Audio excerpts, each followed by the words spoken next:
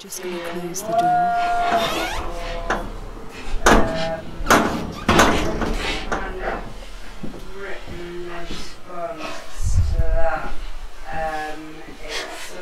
I know it's quite dark in here, but you're quite safe.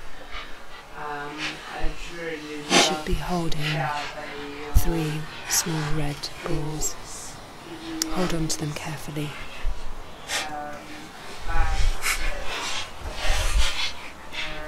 Careful not to drop them.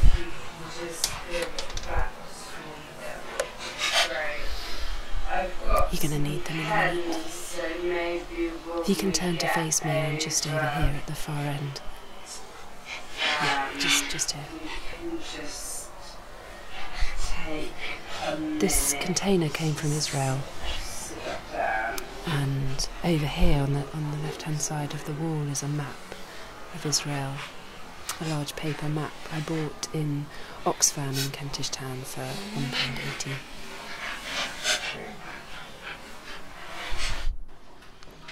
The object that you're holding came from this container.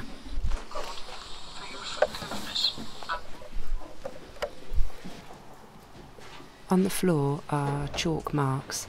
These record the number of days I've been travelling.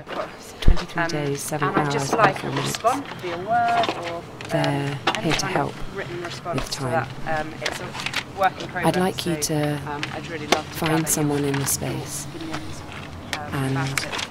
Um, they're gonna have an could just give it back object. to me, that would be great. I'd I've like you pens, to decide how many of your red um, balls you'd like to give them in exchange for this object. You won't need to speak. Just look at the object they have and decide how many of these you'd like to give away in exchange. I have been asked to say a prayer on behalf of everyone here. The prayer is on Thanksgiving. There are many things we are thankful to God for.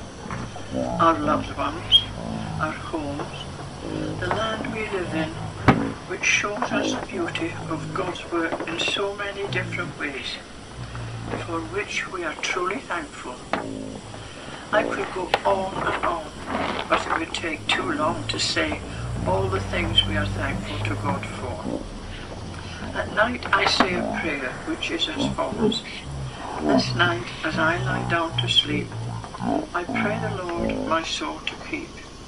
If I should die before I wake, I pray the Lord my soul to take. In the morning I say thank you God for a good night's sleep and another day.